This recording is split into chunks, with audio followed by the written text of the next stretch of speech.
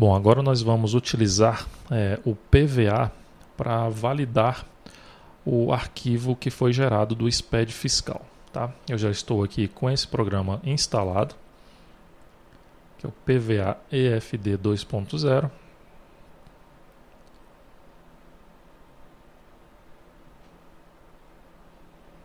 Aqui está. Eu vou aqui em escrituração fiscal, nova importar. Tá? Eu vou selecionar aqui o arquivo que foi gerado e vou clicar em abrir. Bom, logo de cara aqui ele já encontrou um erro. É o valor contido no campo data INI do registro 0000 não é válido.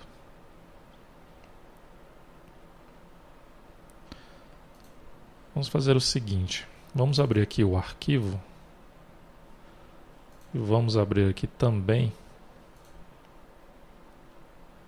é, o guia prático.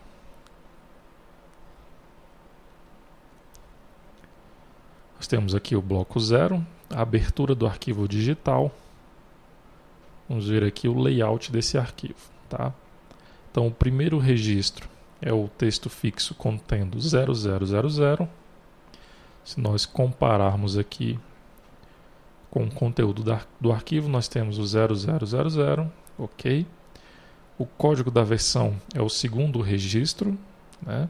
no caso aqui o código da versão é o 0006. Logo depois nós temos o código da finalidade, 0 remessa original ou 1 um remessa do arquivo substituto.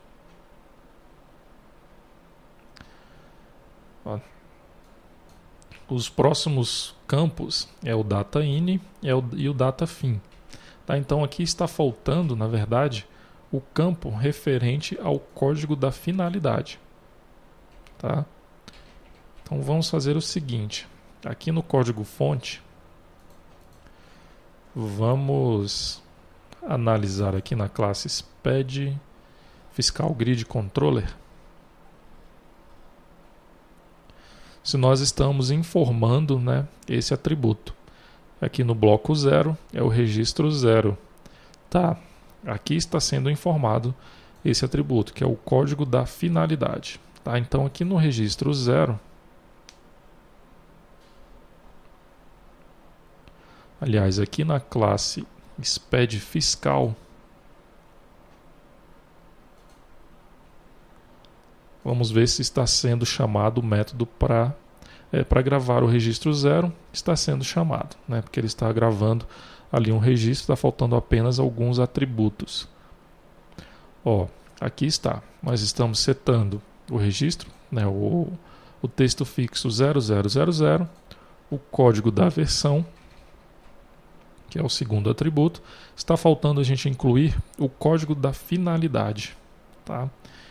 Então vamos incluir o código da finalidade aqui na gravação desse registro.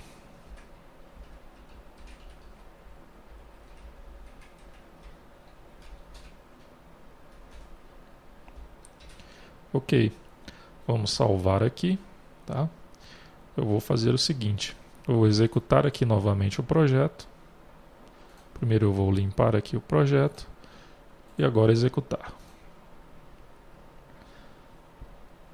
Vou gerar o arquivo novamente para ver se aquele erro ali da data inicial é, vai ser arrumado.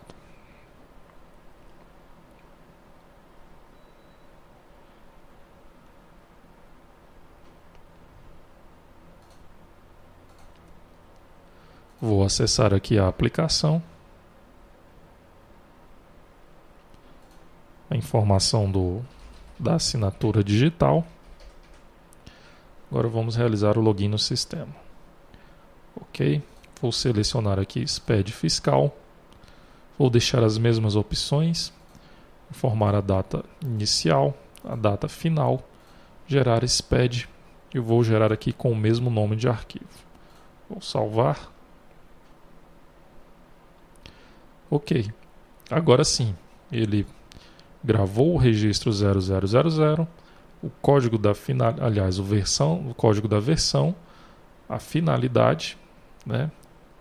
E logo depois a data inicial e a data final, tá? Então agora vamos voltar aqui no validador e tentar importar o arquivo novamente.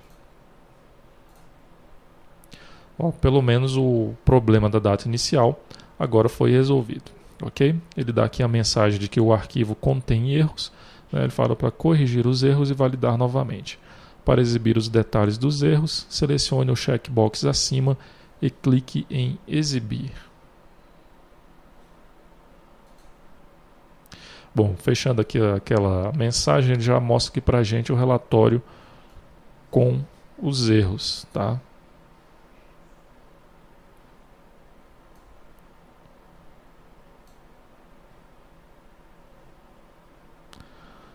Que ele fala que o tamanho do campo é inválido, tem um registro, né?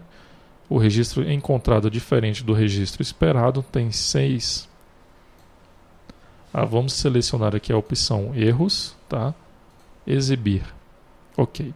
Agora sim ele está exibindo é, os erros que foram apresentados aqui durante é, a validação do arquivo. Ok? Então, da mesma forma que nós vimos lá na validação do arquivo é, do SPED contábil, aqui também nós temos o relatório com os erros que foram encontrados no arquivo do SPED fiscal. Tá?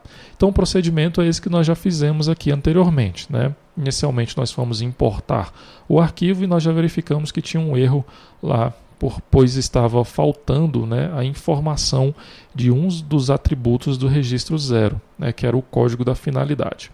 Então qual que é o procedimento? É você verificar os erros que foram apontados aqui pelo programa validador, depois você vai lá no código fonte verifica onde está ocorrendo, ocorrendo o erro, né, por que está ocorrendo o erro, corrige esse erro e depois realiza aqui o teste da validação novamente. Ok? Bom, então esse é o procedimento que você deve realizar para poder validar é, o arquivo gerado aqui do SPED fiscal.